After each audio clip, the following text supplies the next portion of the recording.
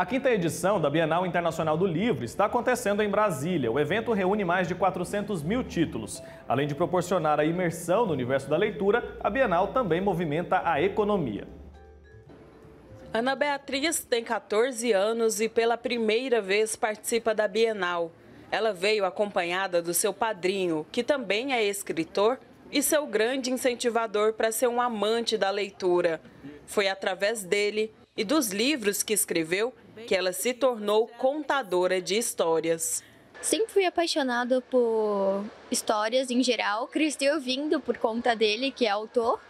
E hoje em dia, por conta de interpretação em teatro, eu comecei a contar histórias assim, para criança com interpretação. Percebi potencial enorme, tanto para desenhar quanto para contar a história e para escrever. Nós vamos fazer um trabalho em conjunto breve. Esse é um processo que realmente demanda apoio de outras pessoas, mas uma vez conquistada, eu vejo que as crianças amam o folhear, porque querendo ou não, esse lado lúdico de folhear um livro e tal, ela ganha um cada vez mais é, coração. Então não é aquela leitura digital que você é, não tem aquela tátil. O tátil do livro é muito interessante. E é esse apoio que você está dando para ela hoje. Isso, por isso estamos aqui. Essa é a quinta edição da Bienal Internacional do Livro de Brasília, que ficou dois anos sem ser realizada por conta da pandemia. O evento reúne mais de 400 mil títulos e 100 expositores em um espaço de 12 mil metros quadrados no pavilhão de exposições do Parque da Cidade. A Bienal esse ano ela vem com o tema A Transformação Acontece Aqui e ela tem o intuito de fomentar o hábito da leitura nos jovens, principalmente esses jovens que estão transitando pela internet.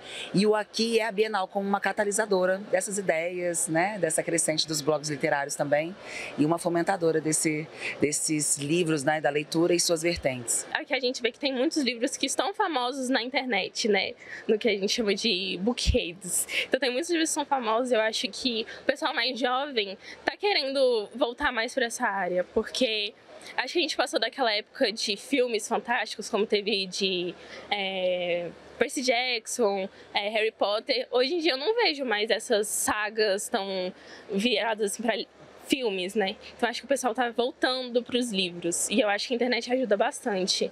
É, os influenciadores falar sobre isso, acho que muda muito. E para incentivar a leitura, os livros têm um preço bem acessível e várias promoções.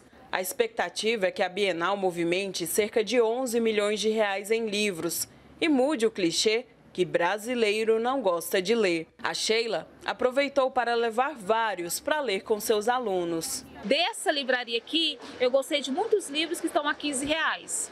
E são títulos bem legais, assim, para crianças, assim, é, adolescentes, né? Então eu achei mais acessível sim do que ir na livraria. A livraria é bem mais cara. Para atender todos os públicos, a feira literária foi dividida em seis eixos temáticos: mercado, música, histórias em quadrinhos, crianças, multimeios e autores. A Mari é escritora de livros infantis e fez publicação independente, sem nenhuma ajuda de editora. Pela primeira vez, está expondo na Bienal e fez um momento de autógrafos para o seu novo livro que fala sobre educação financeira de maneira lúdica. Entre tantos é, livros infantis, obras infantis, eu trouxe meu quarto livro, que esse está sendo bem visado, que é o Pedro Aprende a Poupar, que trabalha a educação financeira, um dos temas mais visados hoje na, nas escolas em Brasília.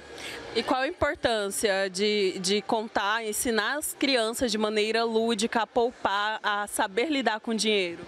É através da contação de histórias que a criança é, fixa o que você está transmitindo para ela através da contação.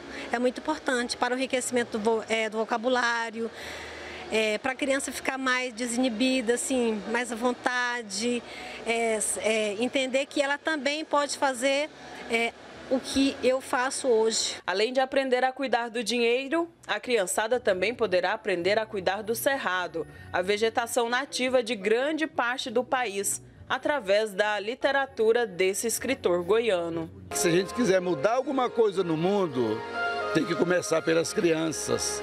A cabeça do adulto, do velho, não se muda mais. E por aqui é muito fácil. A criança, quando acaba de ler o meu livro, um desses livros, ela já é amiguinha daquele bicho. A Bienal do Livro vai ocorrer até esse domingo. Os ingressos no meio de semana são totalmente gratuitos.